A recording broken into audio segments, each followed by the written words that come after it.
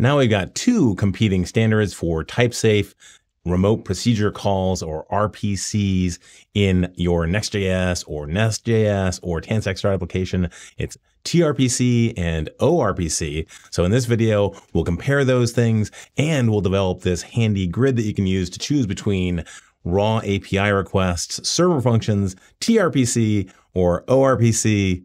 Let's get right into it.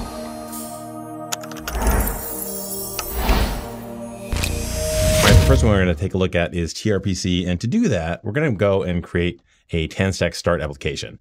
And to do that, we're going to use create start app. This is an application I run. This is a CLI builder, and it just happens to have configurations for TRPC and ORPC. So let's give it a go. So I'm going to call this one TRPC test. And importantly, down in add-ons, I'm going to select TRPC. I'm going to bring that up in my editor. Now let's fire that up and have a look. All right, so here's our app. And what we're going to do is we're actually going to build this up. We're going to start looking at raw API access. So post and get endpoints with TanStack query. And then we're going to look at server functions. Then we're going to look at TRPC. And then we're going to look at ORPC because you're going to see the different layers of type safety and input validation as we go through these. And it'll give you some sense of what your different options are. And at each point, then we're going to use a to-do example. So we're going to start off with this TanStack queries to-do list. We have our to-dos here. We can say, you know, new to-do, and we can add it.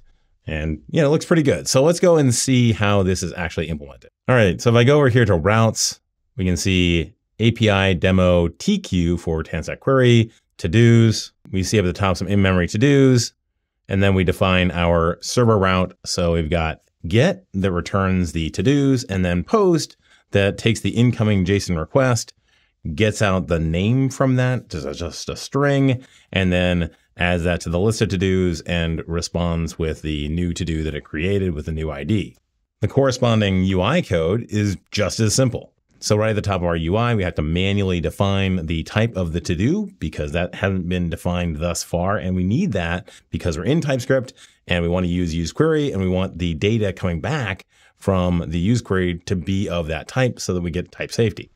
So that's where we use the generic there on use query and we get back data, which is an array of to-dos. To go and get that data, we just simply call that API endpoint that we created, by default, that's going to be a get, and then we return the JSON off of that. Once we have that data, then we can format the to-dos. And then to add a to-do, we have an input field that manages a to-do, as well as a button that calls submit to-do. So what is submit to-do? So submit to-do adds the to-do and then sets it to an empty string. So what is add to-do? Well, add to-do is a function we get back from use mutation. We get the mutate function, we map that to add to-do, and then that mutation function calls that same API endpoint, but this time with a post to go and add a new to do.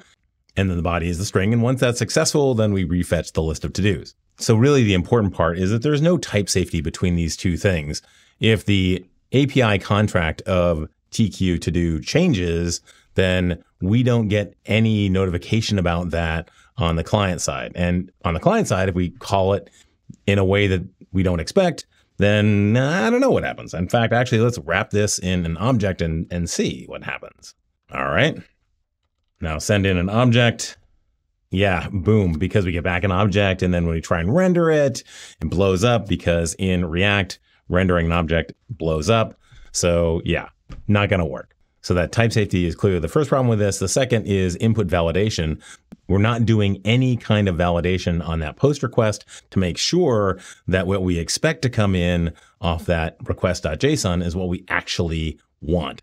And if we wanted to do that manually, you might use something like Zod or Valibot to do that kind of validation. Here, we're not doing any of that, and that's why it blew up.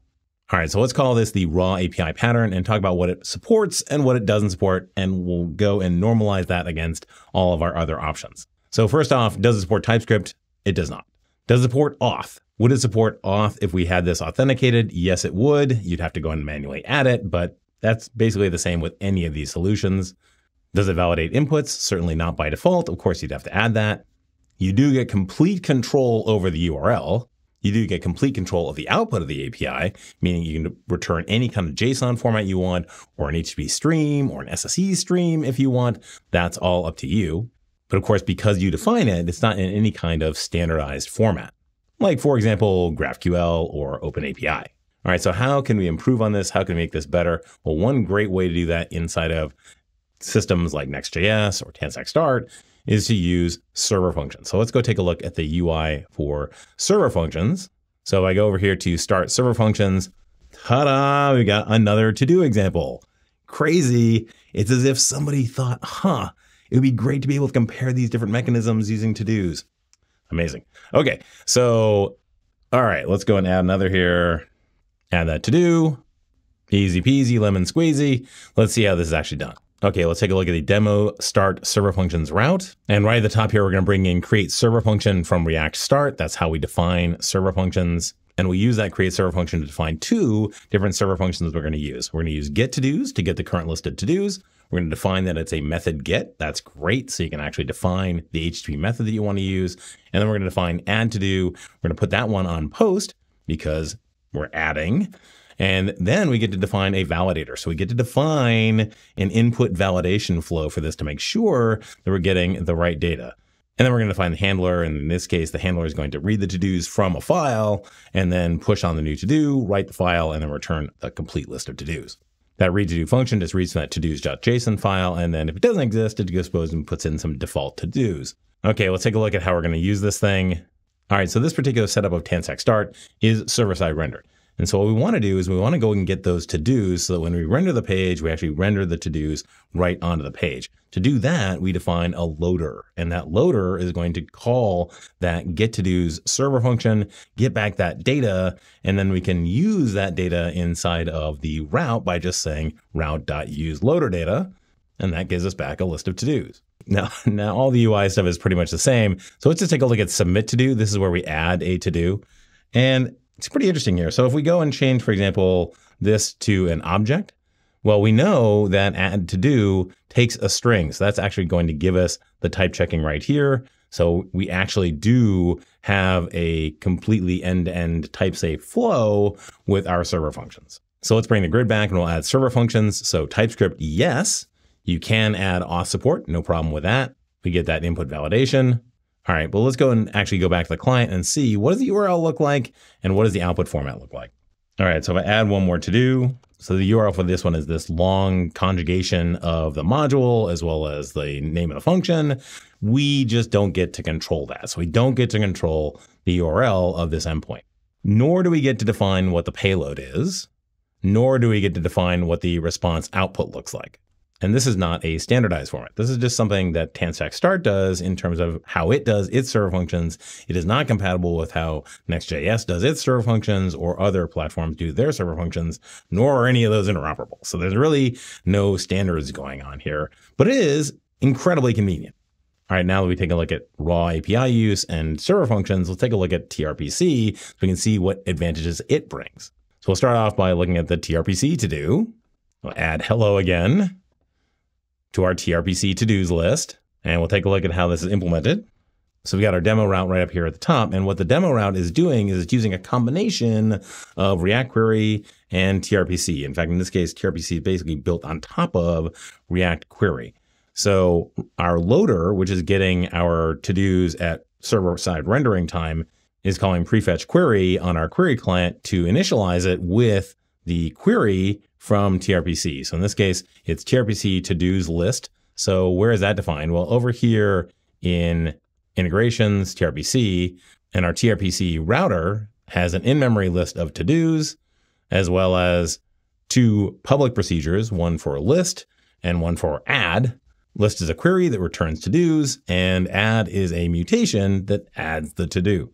Both of these can be async, of course. We've got any kind of IO to do. In this case, it's just in memory, so it's not async. And then that to-dos router is added on to the overall TRPC router, and you can have as many of those routers as you want. So you can create a very sophisticated API here. And again, that type safety is routed all the way up to the client. So let's go take a look back at our TRPC demo. For example, we can see here that the data coming out of that use query is indeed a to-do that has the ID and the name. as an array or undefined in this case if it's not ready. And then our mutation for add to do, well, let's try and add something to that.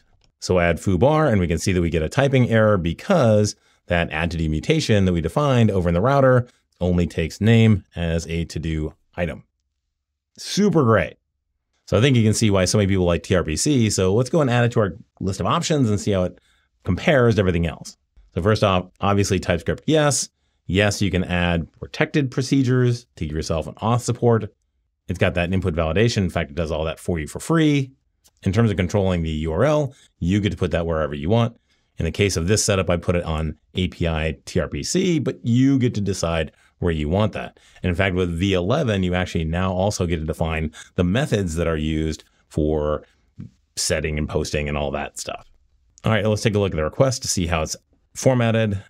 The output here is super JSON, but that's because we chose that as the serializer. You can choose whatever serializer you want for the output.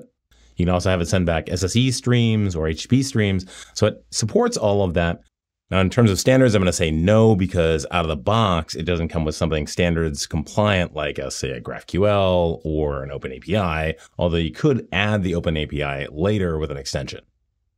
Now, one thing that's really interesting about TRPC is when you think from an architectural level, you could have one definition of your TRPC router that's implemented by, say, your TanStack Start application or your Next.js application, and then also have a React Native application that connects to that router to get those typings in, say, a mono repo. You could do that. And I think that's really interesting.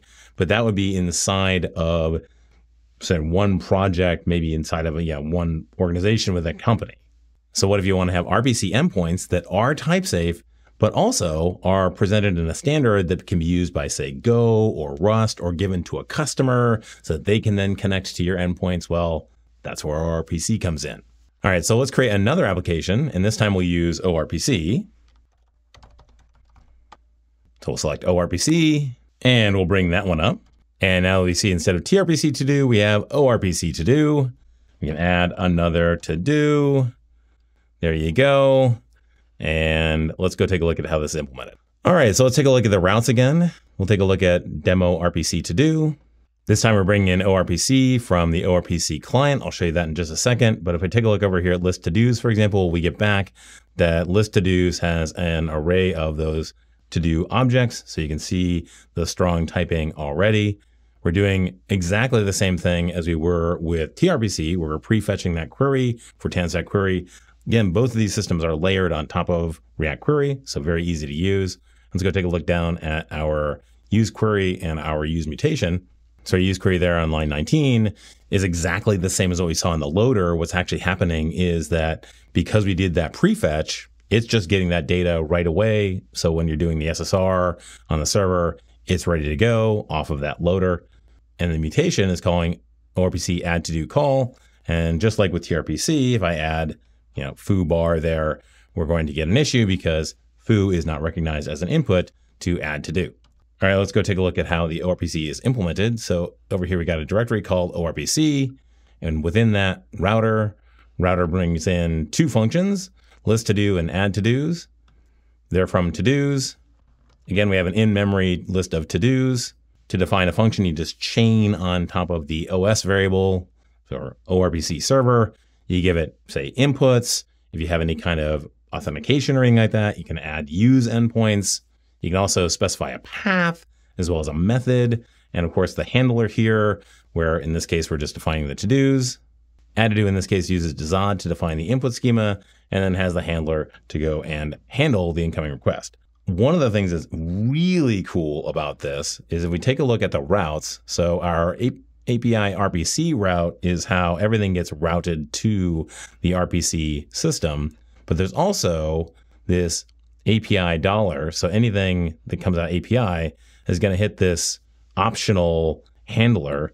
And this optional handler gives you a UI on top of OpenRPC. This is super cool. So I navigate to slash API there. I get this full UI that shows me all of the different methods that I have. I can invoke them from here. I can see the different types of models that I have. This is amazing. And even cooler, I go back to the top and I download the OpenAPI document. Oh, this is so cool. Okay, I'm going to go over here. I get the Tanstack ORPC playground.json file. Going to go over to my Postman. Going to drop that in there. Going to bring it in as an open API 3.1 with Postman collection. I'm going to import that. And now we can see that I have a, the different Postman endpoints. I hit send, get back my data. This is incredibly cool. All right, so let's talk about how ORPC stands up. TypeScript, yes. Auth support, yes. Input validation, yes, you saw it with Zod.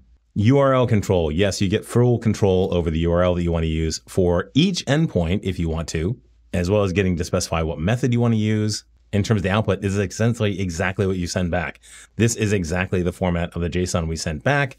No mutation on that whatsoever. And if you want to use HTTP streams or SSE event streams, those work as well.